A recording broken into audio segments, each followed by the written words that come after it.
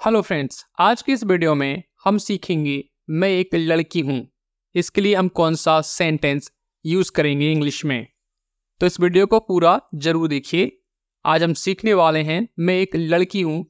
इसको हम इंग्लिश में कहते हैं I am a girl I am a girl girl का मतलब होता है, लड़की और कन्या के लिए इसका यूज़ किया जाता है। आई एम अ गर्ल मैं एक लड़की हूँ। जब हम व्हाट्सएप पर या कॉल पर बात करते हैं, हमको जानना होता है कि जो बात कर रहा है वो लड़का है, लड़की है। व्हाट्सएप पर पता नहीं होता है तो हम पूछते हैं who are you who are you तो आप लड़की है तो बोल सकते हैं I am a girl my name is Ruchi आप लड़का है तो बोल सकते हैं I am a boy my name is Rahul जो भी आपका नाम है। तो दोस्तों, आज के इस वीडियो में हमने सीखा है कि मैं लड़की हूँ, इसको हम इंग्लिश में कैसे कहते हैं। उम्मीद करते हैं वीडियो आपको हेल्पफुल लगा होगा। वीडियो आपको हेल्पफुल लगा है तो वीडियो को लाइक करके चैनल को सब्सक्राइब करना मत भूलिए।